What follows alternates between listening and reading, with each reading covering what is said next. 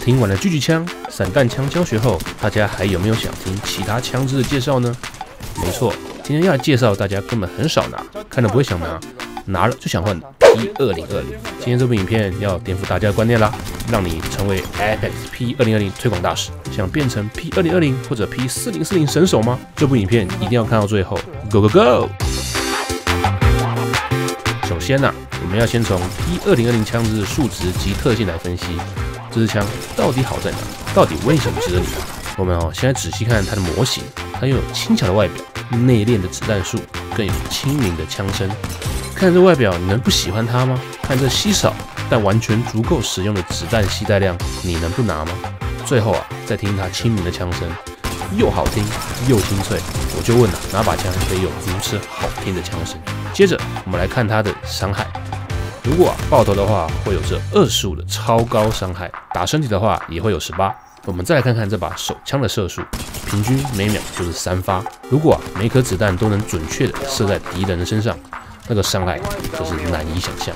这边有个小美游戏可以练习手速，只要打到每分钟一百八十下，恭喜你，你已经进入 P 二零二零世界的门槛。再来，我们来分析 P 二零二零的优点还有缺点。P 二零二零啊，只有一个缺点。就是优点太多，优点就是没有缺点。接着，我们如果拿着 P 二零二零，会有好几种战术可以使用。我们就先讲最常用的两种战术。第一种，敌人轻敌心理术。你手上拿着 P 二零二零，对手理所当然会觉得你非常的好对付，但实际上根本不是这么一回事。你拿 P 二零二零，他就会想要尽可能的接近你，但他往往想不到 P 二零二零的威力是如此的可怕。你拿着它就是战术的一种。第二种。远距离射击术，P 二零二零其实是可以远射的，而且啊还很容易爆到头。为什么呢？因为它很飘，你就会不小心爆到头，就像这样。Nice。最后我们来看一下实战的画面，来看看 P 二零二零的威力到底多颠覆你的想象。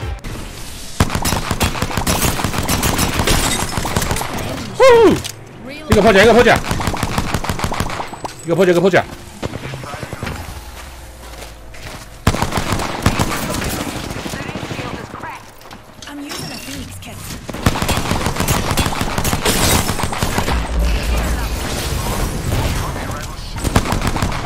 在在这，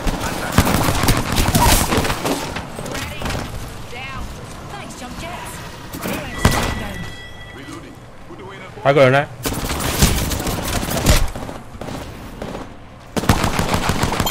？Nice！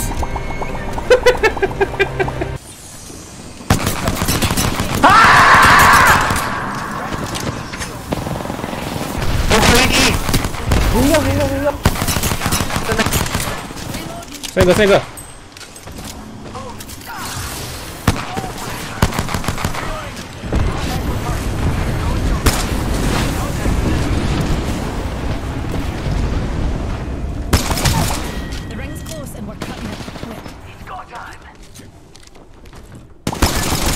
拉个风，拉个风，拉个风，拉个风，拉个风，我毕业了，加油！没事没事没事没事，你们打分打剩他一个而已。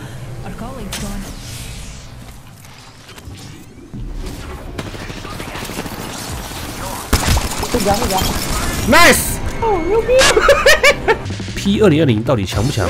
通常关键在于用的人强不强。对我来说啊，真的很强，又痛又可以随时修正准题，又可以节省子弹。我只能说。P 二零二零真的很香啊，捡到追点更是直接封神，快入 P 二零二零教教主啊！要在这边宣导各位，P 二零二零在手，点之有没有？